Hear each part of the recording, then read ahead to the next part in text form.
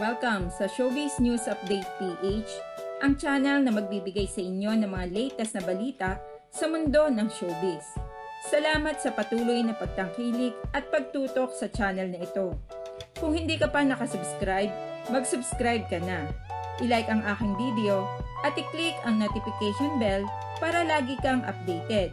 Ihahatid ko po sa inyo ang mga latest ganap sa mga paborito nating artista.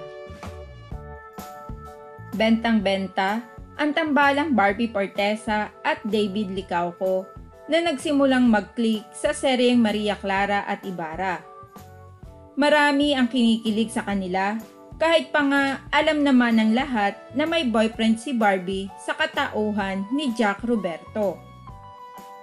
Maraming fan ni na David at Barbie ang kinikilig at kung wala nga daw si Jack ay iisipin mong may relasyon ang dalawa dahil ang sweet ng dating nila kapag magkasama sa mga eksena. Aakalain mo nga daw na talagang may relasyon ang dalawa.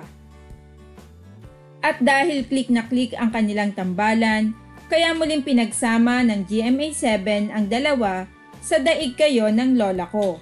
At tatagal iyon ng apat na linggo, kaya naman masayang masaya ang kanilang mga tagahanga na muling magkasama ang dalawa.